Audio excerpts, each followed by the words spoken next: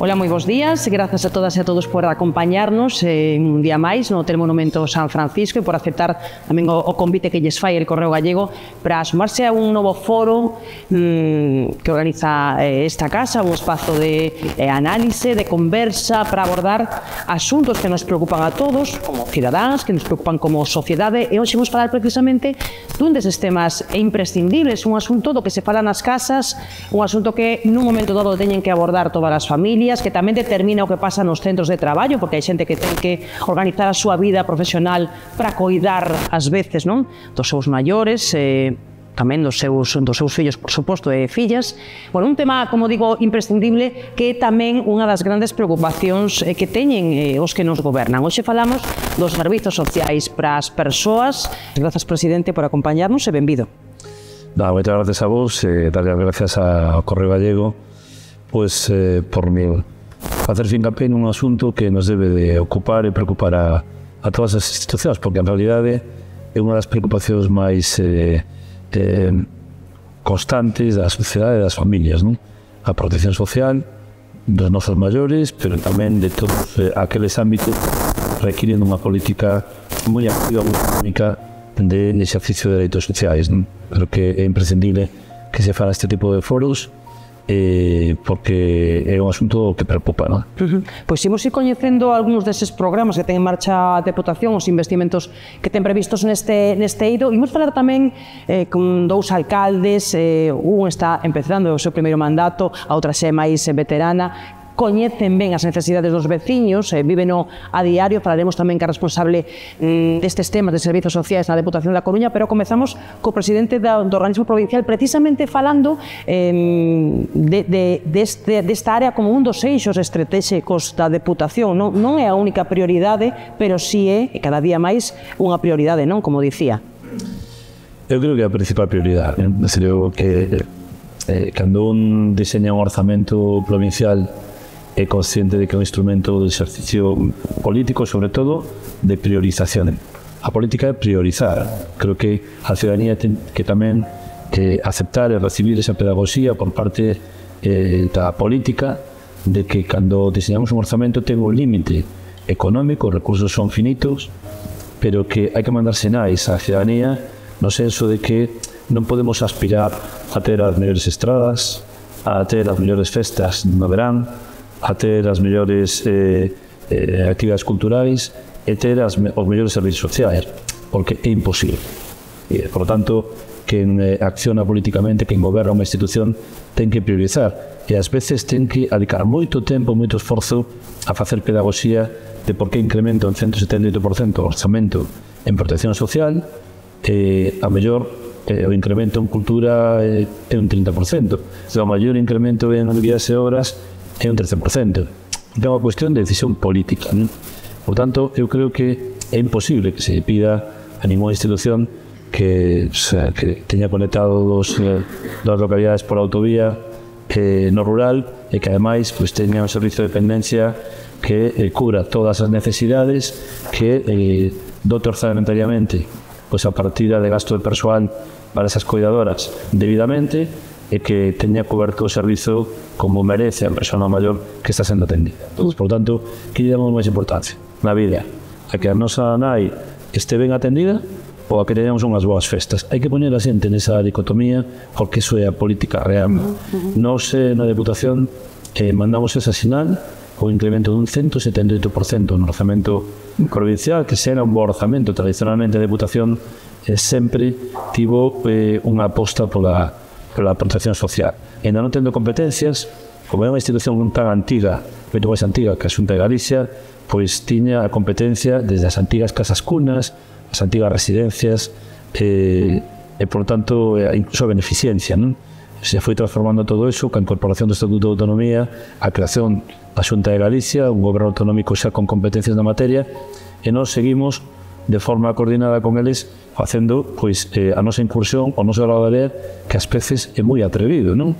Ás veces é innovador. Se, falaremos seguramente das residencias da Deputación, non? Uh -huh. Pero que en cualquier caso, pois eh, ten un, un elenco, un catálogo de servizos que é moi ambicioso e que, e que ten un orzamento, como digo, pois eh, moi moi superior ao resto das deputacións. Entendo que foi a área na que máis medrou o investimento, non? Sin dúbida. Esa é o emprego de San que é outra área onde nos existimos permanentemente, inda que a bonanza económica ás veces nos poderá facer que nos relaxáramos, entendemos que a, o dinamismo económico eh, ten que ser sempre eh, a full, ten que estar sempre en no tope da actividade política e da nosa prioridade porque mm, no momento en que te relaxas, veñen as crisis, non? Eu creo que temos que ter a economía da provincia a tope para que a base de todo, para que todo funcione, que a xente teña traballo, pues este sempre no máximo rendemento. Pero en cualquier caso, a partida social xa que máis eh, medrou sin dúbida alguna. Bueno, en esa partida social hai un apartado que consome moitos recursos, hai que velo tamén como un investimento nas persoas, efectivamente, como dicía, que é o servizo da axuda no fogar, non? Eh, sobre ese SAF tan famoso que escribimos moitas veces os xornalistas, pivota moitas das queixas dos alcaldes, non? Que, que teñen esa eterna protesta de que teñen que asumir competencias que non son eh, propias dos concellos e que efectivamente consumen moitísimos recursos económicos cando os recursos xa son moi limitados, non?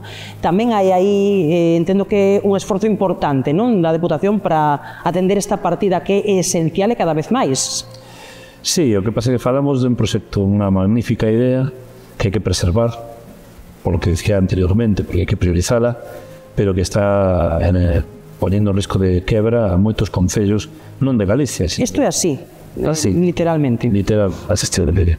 Temos aquí unha alcaldesa de Mialzo que consume eh, o 10% do seu orzamento de repente, falo en 5 anos, eh, o 10% do orzamento en eh, atención a dependentes. Sin ter competencia na materia, eh, nun marasmo de competencias onde eh, o Estado crea de dependencia, a competencia ten autonomía, pero deriva e delega a mesma eh, o exercicio e execución do mesmo dos servicios técnicos municipais. Estamos a falar de que, eu recordo, non hai ni sete anos, o custe por hora eran 12 euros, estamos en 24. E, o a situación laboral das cuidadoras era deprimente.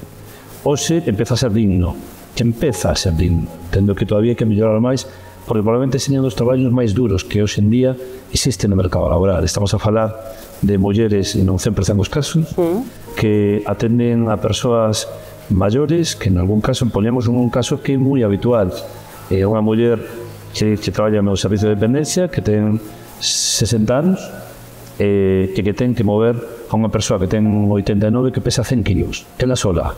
Así, durante 25, 30, 40 anos para xubilarse nunha idade normal cando pois, un bombeiro se xubila pois, aos 58 e un policía municipal aos 58 anos. Uh -huh. Por tanto, eu creo que é un colectivo enorme, falamos de miles e miles e miles de mulleres pero que están absolutamente discriminadas no trato laboral e, por lo tanto, entendemos que este incremento non é un incremento en beneficio das empresas, porque non é así. É un incremento xusto porque empeza a dignificar económicamente, económicamente o traballo de cuidadora, pero entendemos que aún hai que incrementarlo máis e, por tanto, vai a seguir en crecendo. En este senso, nos exiximos eh, tamén co exemplo, predicamos co exemplo, adicamos 400.000 horas a atender que a dependente sin ter ninguna competencia na materia, nai chamou a nosa porta, quisemos facelo para botarle unha mano pois a que tenga competencia, que neste caso é a Xunta de Galicia e os Concellos, eh, pero non chega nada. Nos pagamos agora 14 euros, a Xunta... Aumentou esa aportación a dos 14 euros, non? 14 euros, eh, que 2 euros, cando falamos de 14.000 horas, eh, son cartos, e a Xunta ten congelado en 12 euros dende o principio, non? Eu entendo que este é un problema moi significativo para a Xunta de Galicia, non un tema menor. Mm. Nós estamos a falar de algo que a nos que nos parece alleo, é dicir, é moi relevante orzamentariamente, entendemos que este é un tema que ten que acordar a Xunta de Galicia e o Estado. O Estado é quen aprova a dependencia, e eu creo que a Xunta é incapaz tamén de afrontar isto era sola, non? pero é o gran tema, é o gran asunto, dado que o envellecemento da poboación galega vai a máis, e, por tanto, a ciudadanía pois, ten que conciliar o seu traballo con que as persoas que máis queres ten debidamente atendidas. Uh -huh. Bueno, pois pues esa reclamación que queda arriba da mesa e que tamén da que tamén se fan eco reiteradamente eh, os alcaldes, pero por ir avanzando e falando de outros programas que ten tamén a Deputación Provincial neste neste eido, falaba das traballadoras do do SAP, que ás veces eh, e eh, ainda sigue pasando, van nos seus propios coches, non, os domicilios das persoas Creo que aí nese tema, que non é un tema menor tampouco, porque de todos os días eh, tamén hai un esforzo, non? Eh, eses vehículos mm, para que poidan traballar, que é como o básico, pero que aínda estaba pendente ou aínda está pendente en moitos lugares, non? Todo que tenga a Diputación que como non ten a presión que poda ter na Xunta de Galicia, que ten unha presión mediática de xestión en eidos complexos como a educación, como a sanidade, eh, nos temos a posibilidade, a posibilidade de facer política de calidade, explícome, non? Calidade escoitando aos colectivos, con tempo, non? E, e aportando un grau de area que naide nos pide.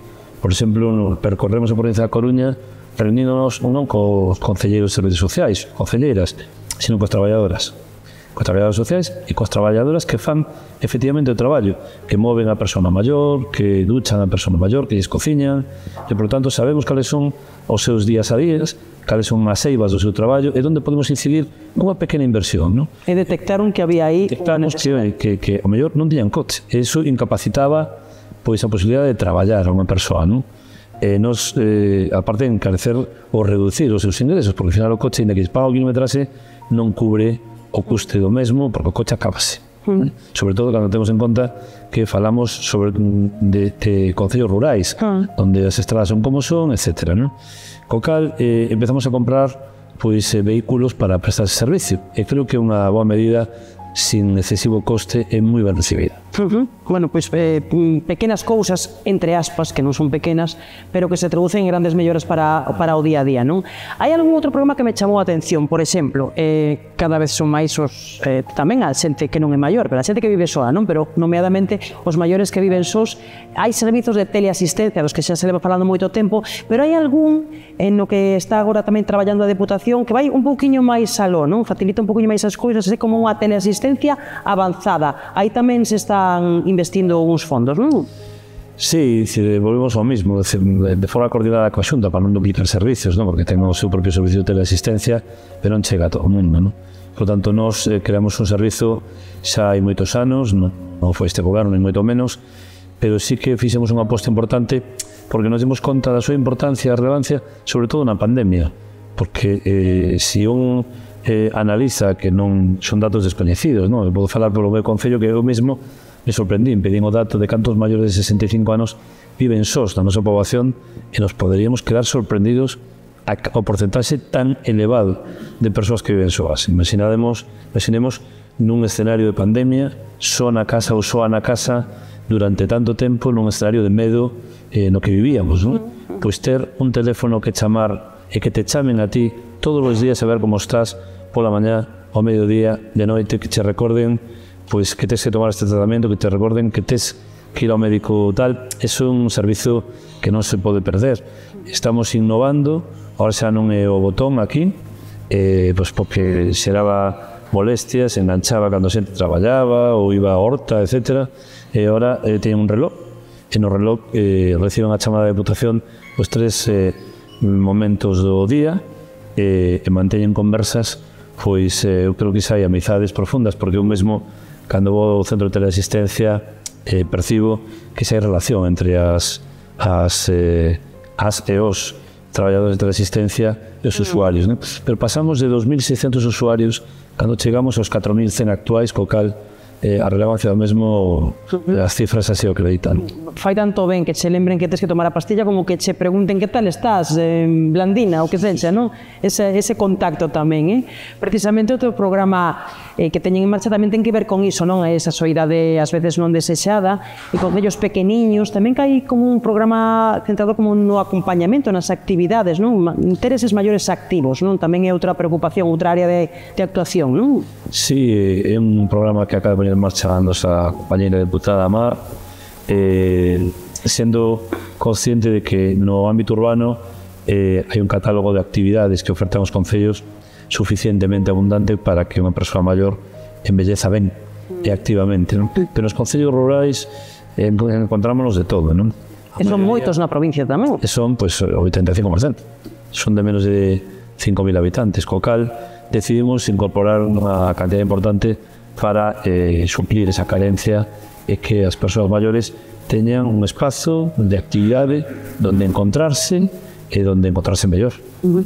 Eh, e unha última cousa, porque o tempo é limitado, temos que dar paso tamén á conversa, pero sobre ese asunto do que falaba ao comezo, ese programa de residencias, en... as residencias é un tema crucial, non? Moita xente espera praza, as residencias non chegan, tampouco hai cartos para facer residencias públicas en todos os lugares, eh, hai que optar por residencias privadas, os prezos son os que son, pero si sí hai un proxecto posto en marcha, non? Por parte da Deputación para construir tres residencias públicas en tres lugares, un é As Fontes, outro é Ordes, outro é Riaxo, non? Creo que son as, as tres localidades. Eh, vanse facer, van ser unha realidade, serán residencias públicas pequenas, non? Pero con, con ao de 50 prazas, creo que é, non? Sí, volvemos ao mismo, non temos competencia, pero en cualquier caso que as competencias non eviten que aportes un grado de área naquilo que consideramos importante, non?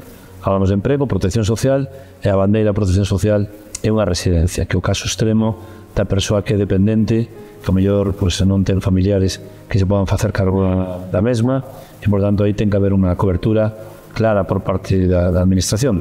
Ás veces as hai a través da, do sistema de dependencia, das libranzas de dependencia, e ás veces cunha praza propia en residencia pública. Non? Neste caso nos encontramos eivas importantes nas residencias públicas que suelen ser, desde o noso punto de vista, modelos eh, que, que demostran que non son o máis aceitado para pasar os últimos anos da tua vida, non? Son demasiado grandes, demasiado impersonais, e cando as visitamos encontramos espazos onde hai unha, unha tristura no ambiente bastante mm, evidente, non? Entendemos que se en algún espazo hai que esforzarse na innovación, na implicación das universidades, na implicación dos sectores máis sensibles, ten que ser nas residencias. Estas estes tres modelos, estas tres residencias que vamos a levar a cabo van a ter o mellor de todos os eidos no, de, que operan eh, en Galicia. Van a ter a maior sensibilidade e delicadeza por parte da Deputación. E a, a miña orden é que costen o que coste. É dicir, vamos a implantar un modelo que seña absolutamente innovador. Público 100%, público 100%, eh, que teña a capacidade de que seña un lugar de concentración non só de xente maior, sino tamén de xente nova, que haxa dinamismo interxeneracional, que te contemple a posibilidade de ter mascotas, porque moita xente maior que querría ter unha mascota, e por tanto que teña a súa residencia de mascotas anexa, que por que non ter unha escola infantil eh, no mesmo recinto, que por que non ter un espacio cultural no mesmo recinto, que por que non seña un lugar de esparcemento donde a xente maior que non poda participar ao mellor directamente en actividades, pero hai unha idade na que disfrutas máis vendo que participando. Que a mí xa me empeza a pasar. Ah. Eu disfruto debaixo dun carballo vendo unha vaca, cosa que non me ocorría fai 20 anos, non tiña paciencia para eso. Me imagino con 80 anos que todavía disfrutarei máis, non? Por lo tanto, non pretender facer seguramente que a xente maior pois apoñamos a todos a bailar rock and roll, se non queren, non? Pero que veixan bailar tamén, probablemente señar un elemento que che fai gambellecer con máis calidad de vida. Por lo tanto, eh, é un espazo aberto a calquer colectivo de Galicia e do mundo que quera poñer en práctica algo innovador que poda mellorar a calidad de vida eh, das persoas na súa etapa final. Eso van a ser as tres residencias da Deputación. Cal vai ser a primeira que se vai construir? Non sabemos, a que máis rápido vaya, que eu espero que seña das Pontes. bueno, pues estaremos... No por nada, eh? Hai que barrer para casa. Eh, estaremos pendentes tamén dese novo modelo das mascotas, chamou a atención, eu creo que pode ser moi innovador. Saben que as caras facían así. Sí, sí, sí, sí, sí. Pois eh, xa lle vimos todos os asistentes como moita moitas vantaxes. Bueno, estaremos pendentes dese, dese proxecto tan interesante, tamén de outros que teñen en marcha. E mo despedir, porque sabemos que ten moito máis que facer, pero agradecemos que estivera xe conosco un pouco desgranando estas eh, accións da Deputación da Coruña. Moitísimas grazas por acompañarnos e moita sorte tamén neses proxectos. No, gracias a vos, porque insisto, podíades haber escollido outra materia para organizar este foro, hubiéramos vido igual, porque o Correo Galego é unha entidade a que respetamos e queremos moito, pero que escollerades eh, esta materia tamén di moito de vos. Moito bueno, pois esperamos facer algún máis. Mm. Moitísimas gracias. gracias. Seguimos no foro sobre os servizos sociais, o grande desafío que teñen as administracións que organiza el Correo Gallego co apoio da Deputación Provincial da Coruña. Tras conversar co presidente do organismo, con Valentín González Formoso, sumamos a nosa conversa a dos alcaldes da nosa eh, zona de influencia, non, non é o cinto de Santiago, pero para nós case si sí o é, non? No caso de Valdo Dubra sí que o é. Alcalde, eh, benvido, moitísimas grazas por acompañarnos esta mañá tamén Vimianzo que está aí ao lado, non? Como que en día, alcaldesa, moi bons días. Moi bon día. Benvida e grazas por acompañarnos e tamén a deputada mm, de Política Social e Educación e Mocidade da Delegación da Coruña, Mar García, que tamén é concelleira en Negreira. Moitas grazas por acompañarnos. Bueno, pois para falar dun asunto que sei que lles preocupa a todos, agora me dicía o padre de Valdo Dubra, Diego Luis Díaz, que cada vez máis, como decía, bueno, é unha preocupación No seu caso, que é o seu primeiro mandato, entendo, non sei se foi a gran preocupación eh, que atopou non cando chegou á alcaldía, pero se non foi a gran preocupación, case, case, non? É un asunto que máis eh, inquieta non os alcaldes. Sí, é un asunto crucial. Eh, basicamente polo ámbito do que se trata, e moitas veces polo estado no que se atopa en concellos pequenos, donde a xestión moitas veces é complicada, e Evidentemente, como falaba antes o presidente da Deputación, eh, o que ten que facer é un encaixe de, de bolillos para cadrar economicamente as cifras en un orzamento o peso que van collendo cada ano eh, os servicios sociais e concretamente a axuda no fogar pois é moi moi elevado.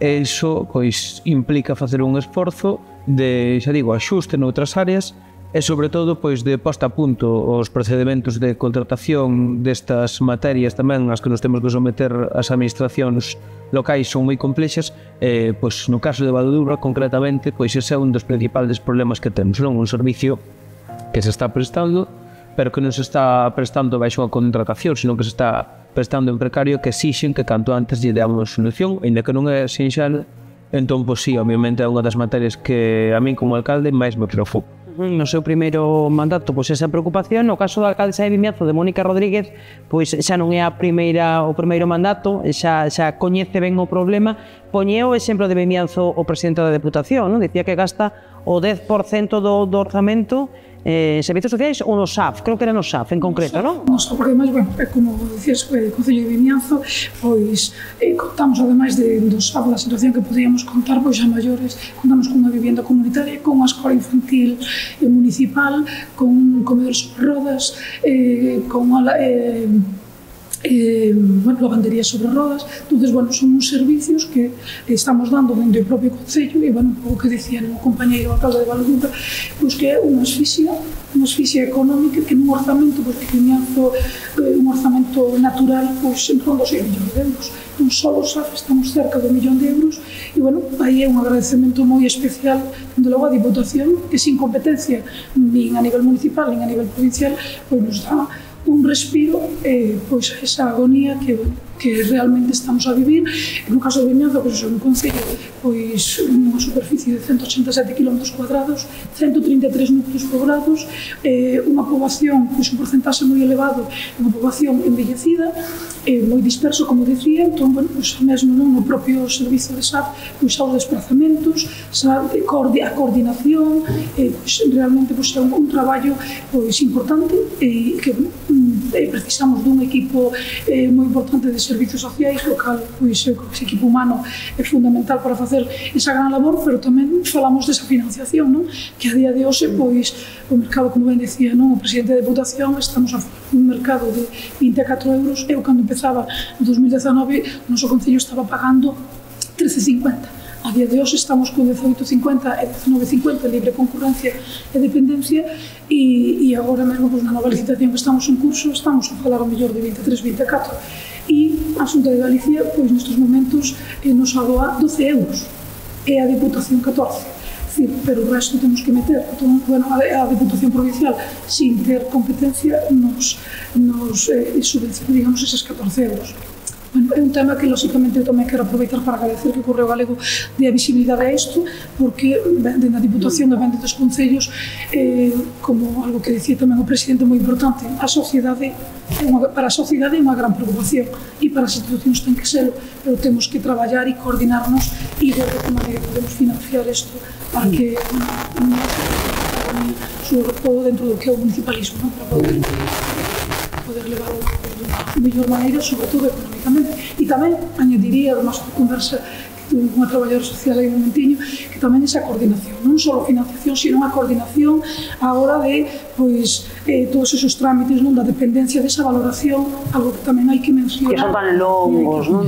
tan extremadamente longos. Serían moitos temas, non? Sí. Pero, bueno, un boquiño que son, eh, como ben apuntaba Diego, a contratación é importante e tamén pois, que a Xunta de Galicia esa valoración pois, fose de outra maneira. Pois, bueno, un poquinho a cadea que agora mm. mesmo pois nos preocupa e moito. Mm, mm. Entendo que esas queixas eh, reiteradas dos alcaldes non que ven ese día a día son os primeiros que o ven, os propios veciños van a vostedes directamente, non? E as familias, non? E a pedir axuda e, e desesperados porque tardan, porque non teñen o que necesitan para cuidado dos maiores, esas queixas entendo que chegan á deputación e moitas veces chegan directamente a Mar García, non?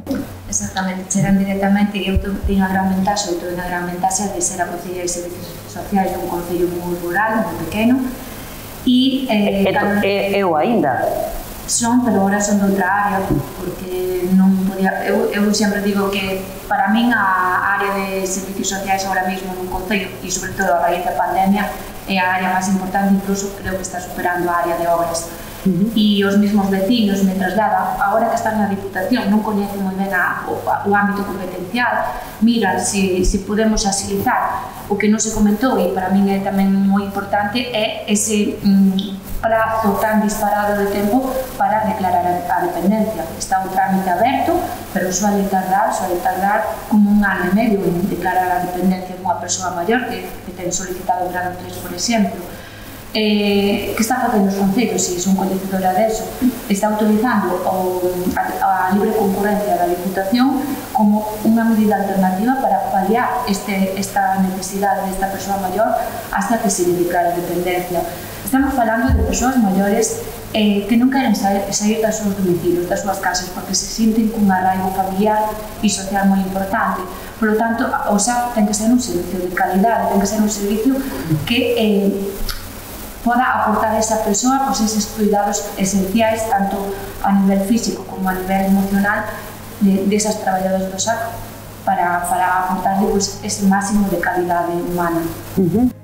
Bueno, pois eh, que quedan moitos temas en riba da mesa, non? Eh, eh, tamén hai esa petición á, Xunta de, de Galicia, non? Que levamos escoitando xa moitas veces para que financie maior medida ese servizo, non? Te axudan a fogar. Como comentaba as compañeiras, efectivamente, eh, para nós esa aportación que fai a Xunta de Galicia é que foi recientemente aumentada, ademais, eh, tras esa petición que fixo a Fegamble seu momento, é, é totalmente ínfima cando estamos falando dunha competencia que é impropia que estamos asumindo porque obviamente temos que prestar ese servicio e somos coñecedores da importancia que ten, pero dito isto eh, unha competencia que debería de ser asumida na que deberían de aportar pois polo menos eh, en partes iguais non a, o Estado e a Xunta de Galicia e por último pois o que son as administracións locais, concellos e diputacións o que tenga que haber unha asunción eh, da realidade e darse conta de que presupuestariamente nós estamos, como decía antes, nas limitacións. O noso Concello, por exemplo, pois estamos falando cun Concello de que ronda os 3.800 habitantes con un orzamento que non chega aos 3 millóns de euros, 703.000 euros van destinados aos servicios sociais do cal esa partida eh, nun número moi moi importante vai para o Servicio de Xuda no Fogar pero tamén para as escolas infantiles, que, bueno, falese desa gratuidade, pero que non é tan certa como, como despois temos que, que ver no día a día cando temos que xustificar, non? Eh, eses servicios que prestamos, porque somos coñecedores ademais de que no ámbito rural apostar polos servicios sociais é apostar pola, polo polo mantemento dos nosos concellos para evitar esa sangría de población, eses servizos que, que, que se escapan un pouco non do que é o xa, do que son as escolas infantiles, pero que para nós son totalmente eh, interesantes e importantes a día de hoxe, como son a conciliación, os servizos de madrugadores, os servizos de campamentos, eso tamén son eh, tamén son eh, servizos sociais. Desde o punto de vista son servizos sociais e servizos que asume o, o Concello en gran parte con unha pequena eh, a aportación que fai Xunta Galicia é esa aportación que xa digo, sin ter competencias a deputación, pois sí que non nos abona, non nos diferentes ámbitos, ao igual que nos propios departamentos dos servicios sociais. Por sorte, hai que agradecer eh, a capacidade que teñen os nosos eh, traballadores municipais, eh, tanto técnicos eh, como tamén os traballadores eh, que, que dependen do Concello, non? e esas aportacións que fai eh, a Diputación para poder pagar eses salarios. Pero, efectivamente, nos SAF concretamente a aportación que fai as administracións eh, non val con que eh, confundan as cifras, non? Porque ao final a aportación que chega da Xunta de Galicia é unha aportación que tamén recibe do Estado. Entón, eso non é suficiente. Necesitamos que se invistan máis cartos, que se nos trasladen máis cartos para poder afrontar estes, eh, estes gastos, porque de outro xeito imos a ter, decía antes o presidente da, da, da Deputación, que hai concellos que están en quebra casi eh, en parte por este servizo, pero se si seguimos nesta liña imos a ter absolutamente o 100% dos concellos un gravísimo problema e, polo tanto, temos que acometer desde xa eh, a solución. Mm, alcaldesa, sí, o fío do, do que apunta o alcalde de Valdo Dubra. Pois sí, bueno, eu totalmente de acordo, o sea, a realidade aquí vivimos e nestes momentos os números, e non é querer non achacar, pero a realidade é que eh, os ingresos que estamos a recibir da Xunta de Galicia son insuficientes, é dicir, esa actualización gracias á petición da FEGAN é insuficiente o incremento, non? Ponía antes o exemplo do 2019, no caso de Vimianzo, 1350, e eu sei, pois iso a 23, 24, pero non só, como ben apuntaba Diego, non só falamos do xa, falamos de todos os servizos servicios que desde os concellos temos que prestar a nosa xente maior, a nosa xente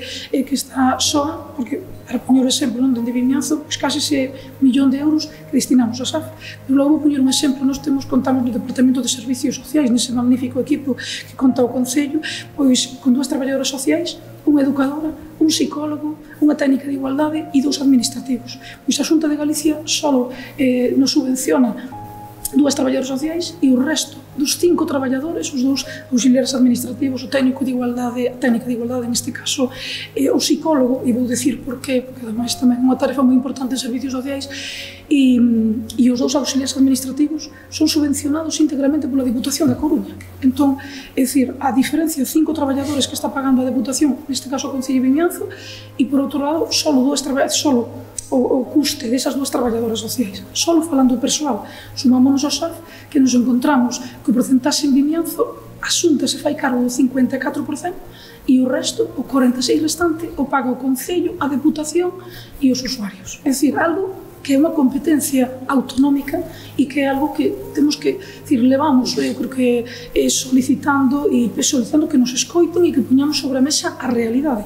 O precio dos custes a día de hoxe que hai que coñecer para ver cal é a financiación a maiores, pois en Vimianzo, como dicía antes tamén, contamos con unha escola infantil que bueno, conseguimos ampliar prazas e nestes momentos 75 prazas.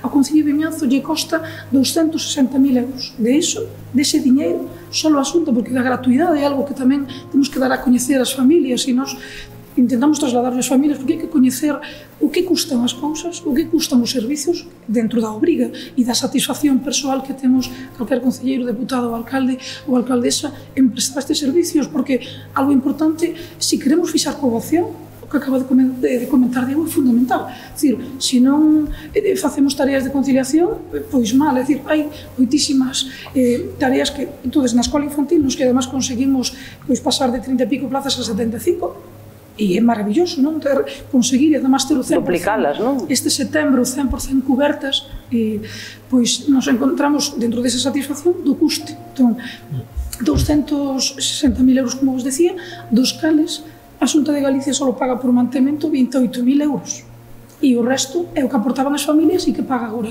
a xunta que estamos a falar de 40.000 euros números redondos. Entón, máis, é dicir, máis de 180.000 euros van contra as arcas municipais Dicir, eso, sumado a que temos unha vivienda comunitaria de 12 prazas, eh, con cos veciños de Vimianzo, lóxicamente, pero estamos a falar tamén de, de outros casi 200.000 euros, que a aportación da Xunta de Galicia son 33.000 euros desde o ano pasado como novidade. É dicir, entonces empezamos a sumar e decimos, ao final os concellos, concellos pequenos, concellos onde temos unha briga e un moi bo apunte que vai facer a nosa deputada que, bueno, eu creo que calquera alcalde lle gusta facer obras porque se ve, non? E ves as estradas, temos moito territorio, moitas buenas Quedan ben na foto, inaugurando sí, esas non, cousas, véndense ben. Estradas, outro que en obras hai moitas cousas, non? Hai que manter os edificios municipais que temos e, bueno, todas as necesidades de servicios de abastecemento, de saneamento, todos os servicios que hai e que son necesarios. Pero é certo que a prioridade ahora mesmo os servicios sociais. Entón, te encontras en esa situación que ves as necesidades, que as palpas, que te transmiten, pero logo esta sensibilidade do que son os nosos maiores, do que son os nosos nenos, do que son pois los que a necesidade de fixar poboación. Entón, estemos todas estas preocupacións. E decía antes Valentín, non?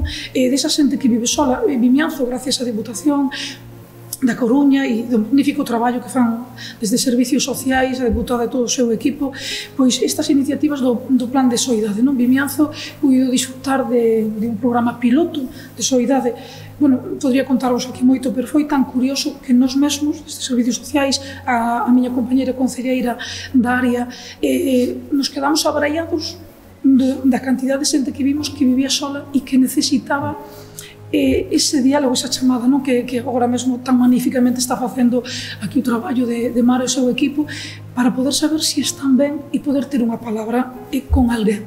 Porque esa xente que vive, non neste caso en Vimianzo, nesos 133 núcleos que decía antes poboados, eh, hai xente que non ven todo o día. Entón, con ese programa piloto conseguimos que a través de 90 antenas que se deron de alta, 90 persoas de distintos eh, lugares e servizos, pois aí desde a farmacéutica, dende a pescadeira, desde a panadeira que nos ven polas portas, eh, dende o, o médico de familia, eh, desde as asociacións, a propia directiva, é dicir, conseguimos 90 antenas dar de alta nese programa de soidade para poder ter esa comunicación directa e poder darnos conta desos casos que seguramente necesitaban e de aí ven o que antes facía mención desa atención psicolóxica que gracias á Diputación temos un psicólogo e podemos facer esa atención psicolóxica, esa visita e coñecer de primeira man para logo futuro outras necesidades, pero polo menos dar a coñecer a situación que podemos vivir en moitos hogares onde ese, esa persoa maior pois precisa de nós e precisa dese alento, pois neste caso, eh, de alguén que pode escoitalo e darlle cabida aos seus problemas. Claro, porque estes casos que dos que fala, non? o alcalde Valdo Ubra, a alcaldeza de Mimianzo, son os que chegan á Deputación a Cotío, é dicir, esta é a situación na inmensa maioría dos nosos concellos, non? o 85% dicía o presidente da Deputación, mm, e tamén nos urbanos que tamén que tamén ocorre, non? Pero é, é o día a día, non? Que que constatan vostedes.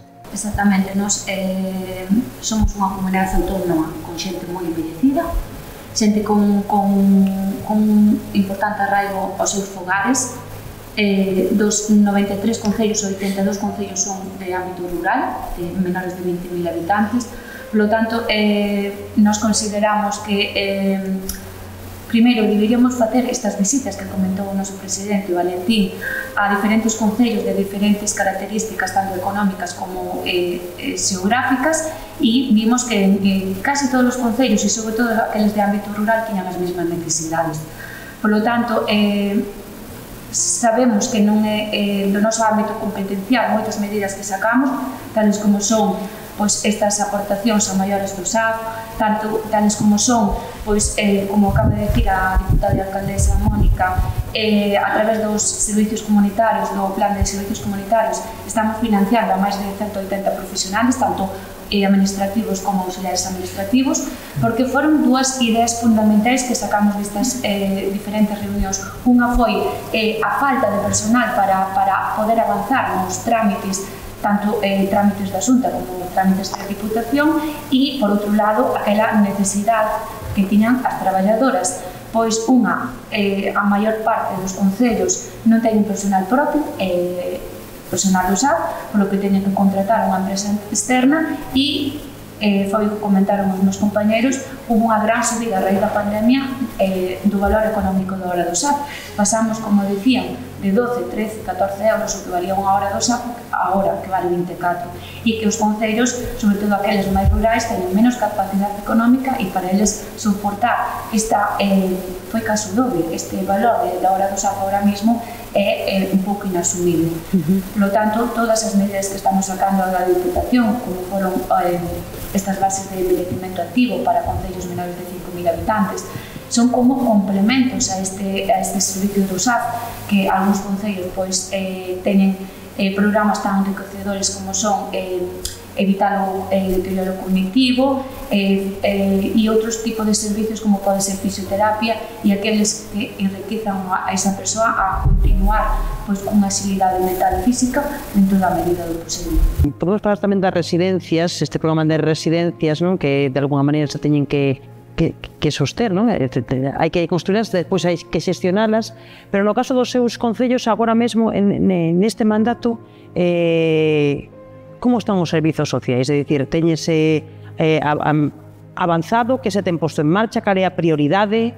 Bueno, pois nos, eh, pola parte que nos toca, eh, temos un catálogo bastante importante de servicios vai sempre eh, in crescendo, non? Siempre, nunca baixa, sempre, sempre hai que dar un pouco máis, non? Sempre vai crecendo, o que implica e moitas veces o falamos co persoal técnico do Concello non de que é un pouco que falaba eh, a deputada de que ao final os eh, servizos dentro do Concello son os mesmos pero os que das hacia fora son máis e hai que ir vendo como se encaixa para poder prestalos de xeito eficiente non? Eh, nos, por exemplo, desde esta semana temos a disposición da nosa veciñanza un catálogo de axudas técnicas que foi financiado co Fos Social do ano eh, 2023 un catálogo moi importante de, pois, por valor de 15.000 euros andadores, colchóns, grúas e demais eso forma parte dos servicios sociais. Temos desde hai anos xa funcionando eh, unha programación contra o deterioro cognitivo que tamén se financia eh, prácticamente na súa totalidade con ese eh, post social no cal asisten, empezaron as actividades deste curso este lunes e dixen, bueno, vou vai a, o primeiro día, seguro que hai pouquiños, cheguei mal ali había xa 20 personas ás 4 da tarde esperando para poder entrar. Estaban desexando lo que empezara. Ese mes que facemos o parón eh, no, no verán a nós parece nos, bueno, un mes, poden eh, coller un pouco de aire para vir. Eh, pero pensei que iba, pero... Eles notan, estaban desexando. Tan sumamente importante que para nós eh, xa digo é esencial e non podemos deixar de prestar nin dar unha mínima marcha atrás complementámola ademais son todas as tardes de lunes a vernos complementámola tamén con algunha actividade mañán este ano para que poidan facer vida no Concello, ir á feira, visitar pois, o propio o propio ayuntamento, diferentes actividades que lle permitan pois estar activos. Complementamos a través con este novo programa que se nos acaba de conceder pois ese servicio, xa temos un servicio de podoloxía e agora eh, contra ese deterioro físico, sobre todo un servicio de fisioterapia para os nosos usuarios e usuarias do SAF.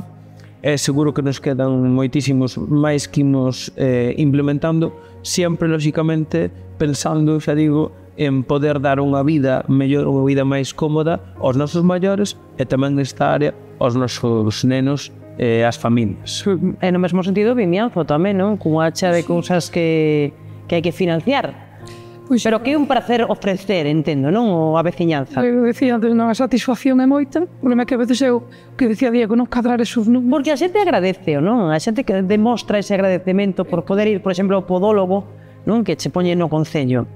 Pois eu creo que eu creo que dentro das áreas que nos poden tocar non dentro dos concellos, eh, eu creo que é unha das áreas máis agradecida, ou polo menos eu creo que a satisfacción persoal, concelleiros, eh, os colaboradores, eh, o alcalde, eu creo que é a satisfacción maior decir, cando facemos unha obra e inauguramos é unha satisfacción, eh? sin dúda, Susana, pero eh, atender cando realmente escoitas as necesidades, se ven un fillo, che ven e che traslada a necesidade que ten con o seu país, con nais, sobre o que sexa nunha casa e podes axudar e conceder esas horas, pois a verdad que é unha satisfacción persoal tremenda porque é unha sensibilidade que temos que ter, sin lugar a dúda, non? Eh, bueno, falando un pouco dos objetivos de Vimianzo, bueno, serían moitos, como que aquí podemos, non, bueno, temos sempre un, un teito moi alto, pero bueno, eu as nosas prioridades principais pois, serían temos unha escola infantil como decía antes, é unha vivienda comunitaria no mismo edificio. A idea é extraer de aí a, vivienda, a, a escola infantil, levala para outra bueno, facer unha nova, un novo edificio nunha nova parcela e convertir esa vivienda comunitaria que temos, como decía antes, de 12 prazas, convertila en fogar residencial para ter 25 prazas, porque a día de hoxe temos unha lista de espera tremenda. Enxeríase de contado, entendo. O que falamos, non? As listas de esperas para ir a residencias dentro da comunidade, pois as listas son terribles, despois tamén, pois eh, eu tamén son moi crítica, non? Ca maneira que teñen de facer o reparto que ao final, pois eres de Vimianzo e che toca en Ourense, non sei do, decir, eu creo que aí tamén poder se houbera un diálogo e houbera un traballo, mm, como digo, a pé de campo, eu creo que hai cousas que entendemos unha lista, entendemos que hai que organizar, non? pero eu creo que esas cousas se poderían corresir.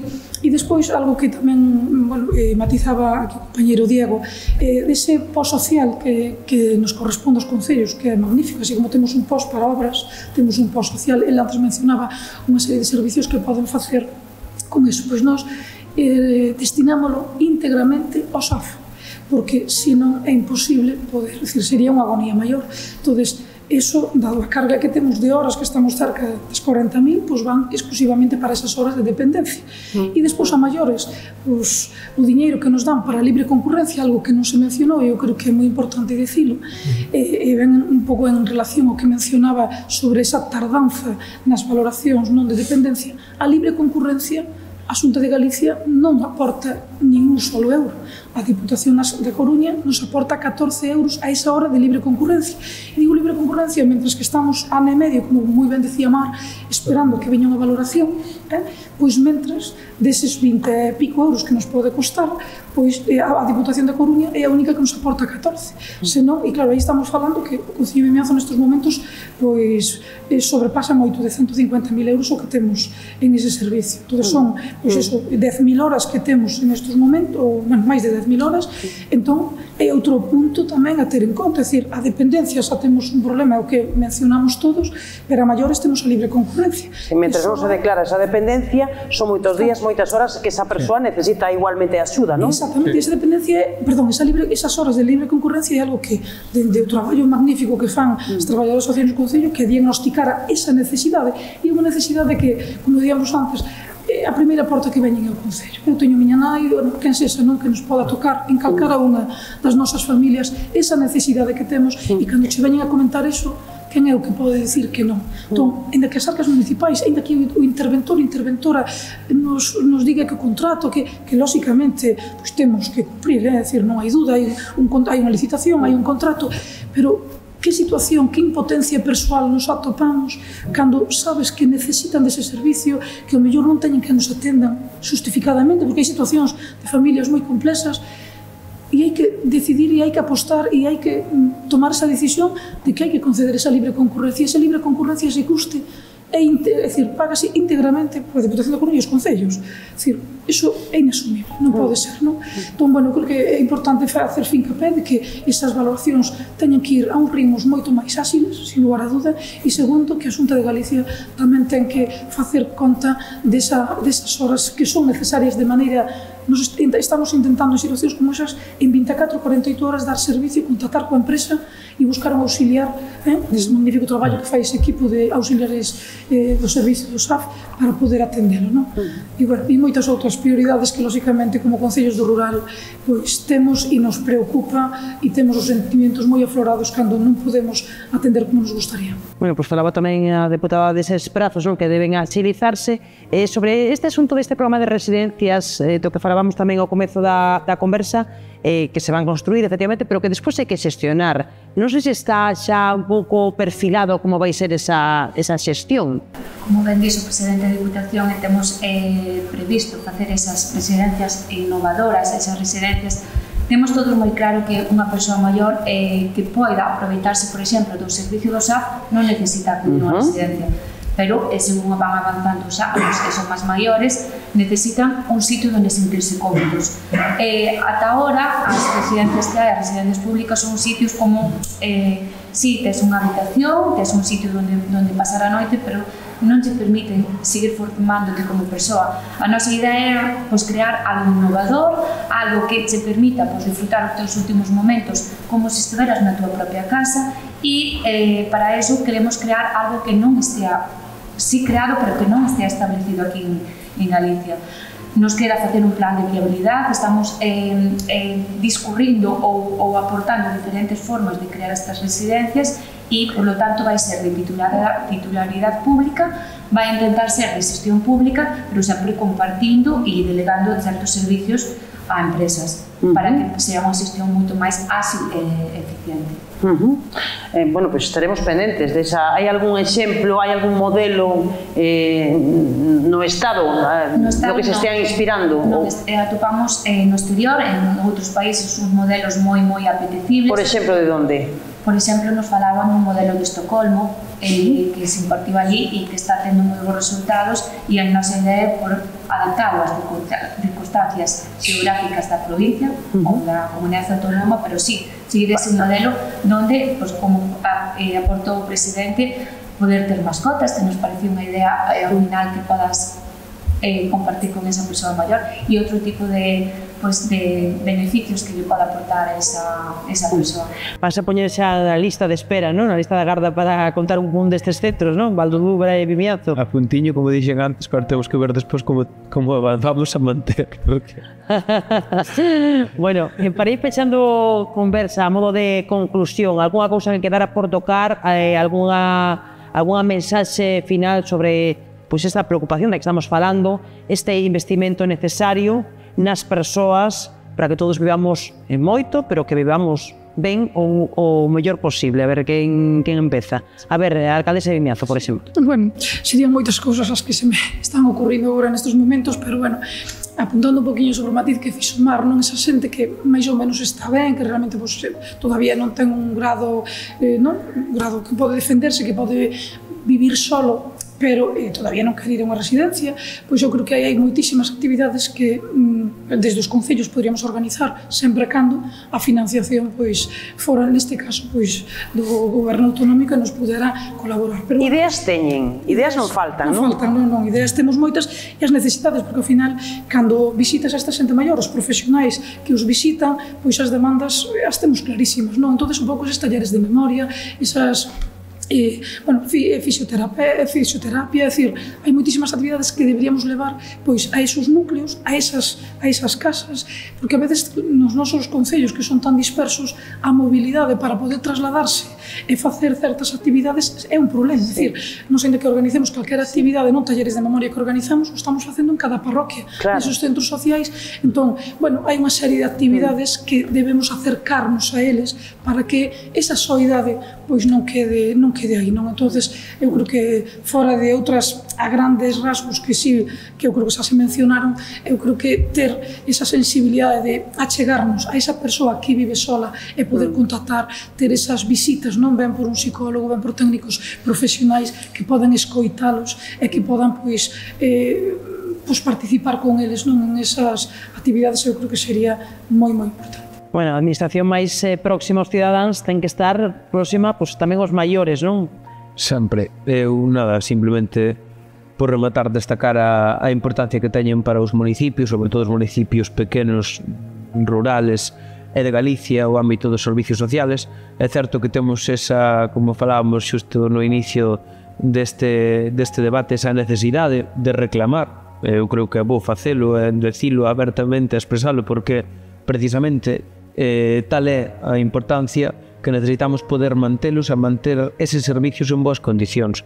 Entonces, pola nosa parte, calquer alcalde ou alcaldesa, independentemente do partido político que sexa, eu estou convencido desa eh, necesidade de querer manter os servicios sociais en perfecto estado, porque ao final o que vas a redundar nunha mellora na vida da túa xente, das túas familias, é, eh, é eh, xa digo, clave para que os nosos concellos pois poidan seguir tendo vida e unha mellor vida. Son moitas as tarefas que quedan que quedan pendentes. Ojalá os procedimentos foran máis sinxelos, ojalá tivésemos máis eh, financiación, pero en todo caso eh, hai que seguir apostando por eles a liña é esta, vai a seguir sendo esta cada ano máis eh, pois o gallá a implicación de todas as administracións para que eh, poidan eh, ser o verdadeiro un dos verdadeiros pilares do Estado Social, non ese entonces a educación. Ah. Eh, traballo non lles vai faltar no, na área que tamén vostede xestiona na deputación, Mar. No, no, nin desafíos, nin... Estamos moi orgullosos, considerámonos que ahora mesmo somos un grupo de traballo, un grupo de goberno moi social, estamos sacando moitas liñas e, e reforzando outras tales como eh, non sei se, se, era, se eran coñecedores de que o social. Era unha medida provisional que sacamos na pandemia para poder apoiar un poquinho máis os concellos. E agora Pois pues agora xa de provisional nada, non? E acababa de comentar tamén a miña compañeira Mónica que empezou con, con catro eh, pautas eh, moi moi esenciais e ahora mismo é como un caixón desastre para os concellos para poder aliviar esas cargas económicas comentou a miña compañera eh, eh incluso justifican ese reforzo de dependencia cando non deberíamos ter a competencia nese tipo de, de mm. dependencia. Eh, sacamos outra liña de axudas, como pode ser o de envellecemento activo, para reforzar eh, pois estes gastos adicionales que tiñan o Concello. Temos uns servicios eh, eh, sociais comunitarios no que financiamos tanto o personal como as horas de libre concurrencia. Temos tamén que, aunque non entra eh, moito no ámbito de Concellos, Axúdalles tamén, porque temos unhas líneas de financiación, unhas líneas de concurrencia competitiva para as entidades sociais, que ao final son pilares básicos para os servizos sociais do Concello, e estamos cada vez intentando pues, reforzar o que xa temos e poder innovar. Tamén é verdad que a nos nos supuso case un incremento de 900.000 euros pasar de 12 a 14 horas, de 12 a 14 euros, sí. perdón, por hora, e tamén para, eh, se nos podemos realizar este esforzo económico, outra administración cercana ou achegada como é a Xunta deberían intentar por reforzar eh, o seu ámbito competencial. E eh, o aportou tamén o compañero Diego de que non fai moito que pasaron de 9 a 12 euros a nós nos axudou como concellos pero nos pedimos que eh, se nos podemos facer ese esforzo económico a Xunta tamén eh, debería facer ese esforzo económico. Ao final os, gran, os grandes sufridores son os concellos e sobre todo os concellos pequenos. Mm. Eh, creo que as administracións temos o dereito e a obriga de axudarles no máximo posible. Bueno, pois moitas mensaxes, moitas reivindicacións, tamén moitos proxectos que quedan en riba da mesa e nos estaremos tamén moi pendentes de, de todos eles e aquí tamén nos teñen, aquí tamén para ser de alguma maneira un alto falante non? para transmitir esas inquedanzas pois das, eh, dos que nos gobernan, empezando polos alcaldes, que son os primeiros os que lles pedimos contas tamén nun momento dado. Bueno, grazas eh, os tres, eh, Mar García, Mónica Rodríguez, Diego Luis Díaz por acompañarnos, un auténtico placer escoitalos, e grazas a todos por acompañarnos un día máis nos foros de El Correo Gánico. Moitas gracias. Gracias a vos. Vale.